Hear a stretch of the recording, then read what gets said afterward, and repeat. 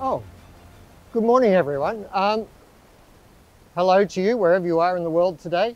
Um, you've caught me in my office. Sorry, I, I don't have my jacket and tie on. Um, this is where I work, my private workspace in my office uh, at home. And um, yeah, so I guess it's a special treat to let you into my sort of private domain.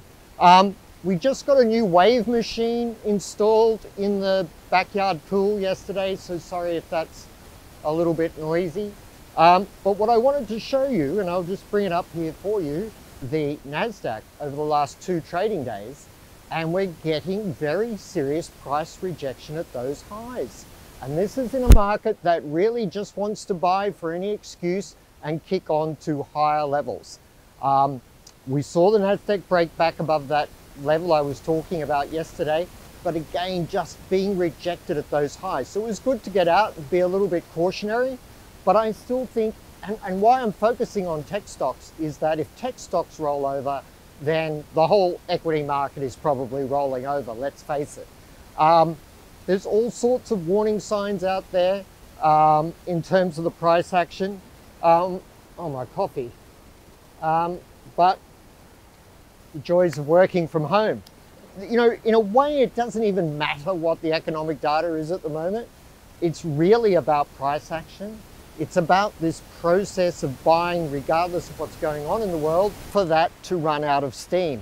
Uh, now, my regular followers uh, from many years ago will know that I've been looking for this sort of scenario a few times and we've made some money here and there shorting the market, but mostly it has been most definitely a go long equity market. It could still be the case. And just looking at that chart again of the NASDAQ and the Dow Jones in the Australian market also struggled to, to get ahead to break out of that range of the last several weeks. Um, and the lockdown situation in Australia. So if you're trading Australian markets from wherever you are, um, the lockdown situation in Australia, the risk is it's going to, to expand. It could be here for a while. The cases in Sydney have spread to the northern side of Sydney, so it is expanding. Watch for breakdown in that price action as I was talking about.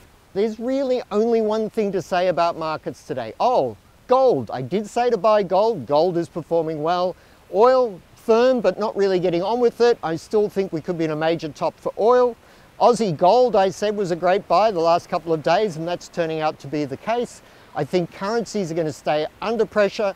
The US dollar is going to stay strong. It's more about price action and market positioning. Again, I apologize for the back, backyard wave pool. I'll have to turn the volume down on that.